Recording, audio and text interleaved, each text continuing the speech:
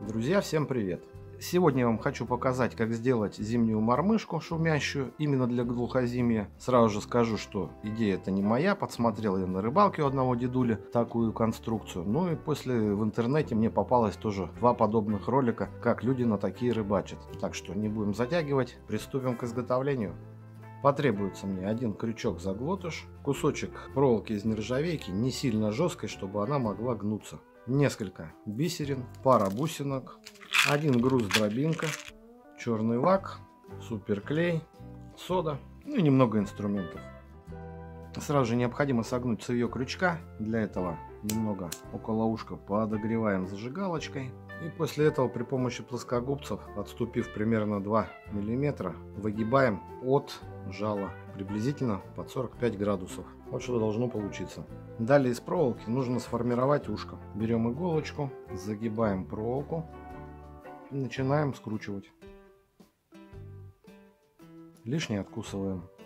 Вот такое вот ушко получилось. Собираем дальше.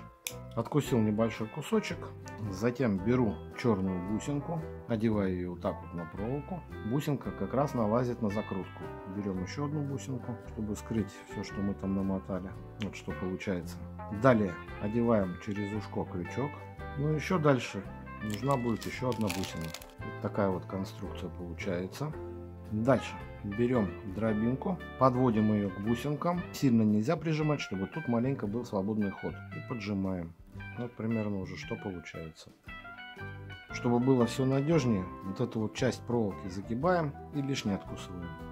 Оставшийся хвостик подгибаем к дробинке. Практически мормышка готова. Теперь в прорезь грузика нужно капнуть суперклея и посыпать содой. Также все это дело можно просто запаять. Ну, чтобы с паяльником не возиться, капаем суперклеем и щепоточку добавляем соды.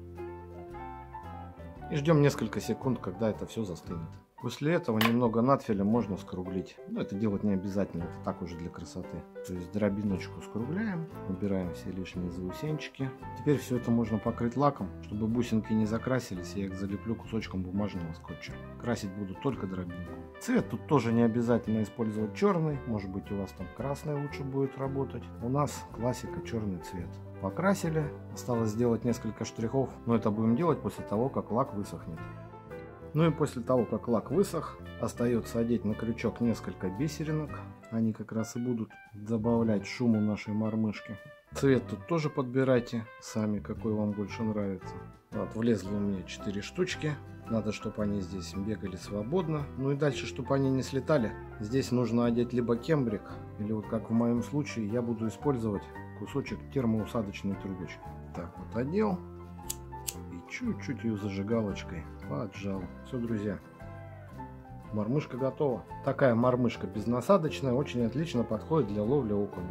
При игре бусинки и бисер будут стукаться друг об друга, тем самым будут создавать немного шума, который будет привлекать уже вялую рыбу, которая не клюет на обычные мормышки в глухозимье. Как вы только что убедились, все делается очень-очень просто, довольно-таки быстро, потратил я на все время изготовления, ну не больше пяти минут. И получается вот такая вот шумовая мормышечка. Но сейчас попробую вам показать примерно, как она себя ведет в воде.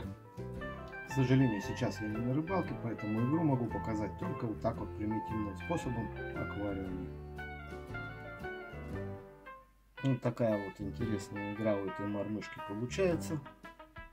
Крючком она ударяется об грузик.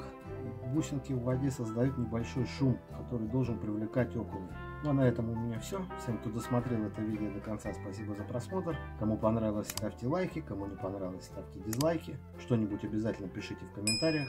Всем пока и до новых интересных видео.